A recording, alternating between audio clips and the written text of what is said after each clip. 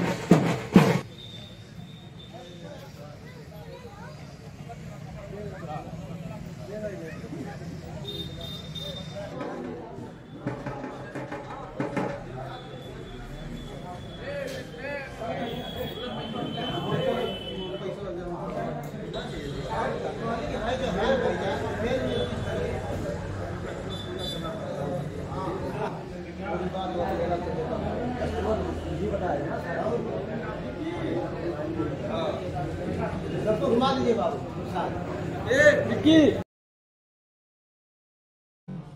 सबसे पहले तो नमस्कार। आपके चैनल के माध्यम से हमारे शोरूम में आपका स्वागत है अंसारी टी में। और आज जो है महापर्व है धनतेरस और इसके बाद दीपावली उसके बाद छठ पूजा। और ये गाड़ियों के सीज़न का त्यौहार है।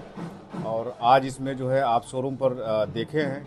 कि काफ़ी संख्या में कई सौ लोग आगे से पीछे तक शोरूम में भरे हुए हैं और गाड़ियों की डिलीवरी आज सुबह सात बजे साढ़े सात बजे से शुरू हो गई क्या अंतर है और गाड़ियों कंपनियों में और टीवीएस में काफ़ी बदल चुका है टीवीएस गाड़ी देखिए, TVS लोगों को खूब भा रहा है। टी नए नए इनोवेशन के साथ मार्केट में आ रही है।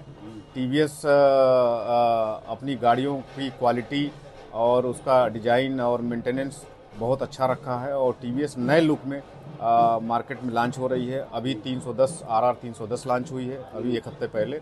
आप हमारी रेडर की देख ही रहे हैं शार्टेज है और गाड़ियाँ जितनी बुक हैं वो भी सप्लाई कंपनी से नहीं मिल पाई है।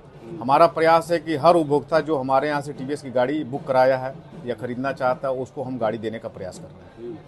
और कंपनियों से ये गाड़ी इसलिए अलग है कि तमाम चीज़ें डिजिटली गाड़ी को कर दिया गया है। ब्लूटूथ नेविगेशन सिस्टम और टेक्नोमीटर सी इंजन तमाम चीज़ों में टीवीएस बदलाव ला रही है और उस बदलाव के साथ मार्केट में नए नए डिज़ाइन नए नए मॉडल टीवीएस पेश कर रही है। कौन से युवाओं को सबसे ज़्यादा कौन सी गाड़ी भा रही है? युवाओं को इस समय जो गाड़ी भा रही है वो हमारे यहाँ 125 सीसी रेडर गाड़ी है। वो ज़बरदस्त उसकी डिमांड है। उसके बाद अपाचे ऑलरेडी डिमांडिंग गाड़ी पहले से ही है। और उसके साथ साथ एक रोनिन गाड़ी 225 सीसी में कंपनी ने लॉन्च की है। उसकी भी डिमांड काफ़ी हद तक बढ़ चुकी है। जो गाड़ी की सप्लाई कम मिल रही है इस वजह से उपभोक्ताओं को कम गाड़ी सप्लाई मिल पा रही है। राइडर में क्या व्यवस्था राइडर में राइडर में बहुत सारी खास विशेषताएँ हैं। एक तो लुक उसका मतलब इस तरीके का है कि कोई भी उसको देख रहा है तो एक नज़र में उस गाड़ी को पसंद कर ले रहा है। दूसरी चीज़ उसमें डिजिटल प्लेटफॉर्म पे उस गाड़ी को बनाया गया है। डिजिटल मीटर और डिज़ाइन उसकी आप देखेंगे तो बाकी आपको किसी गाड़ी में उस तरह की डिज़ाइन नज़र नहीं आएगी। और रेडर एक युवाओं की पहली पसंद बन गई है। जो टीवीएस मोटर कंपनी और अंसारी टीवीएस के लिए बहुत अच्छी बात है। और बहुत अच्छा संदेश है।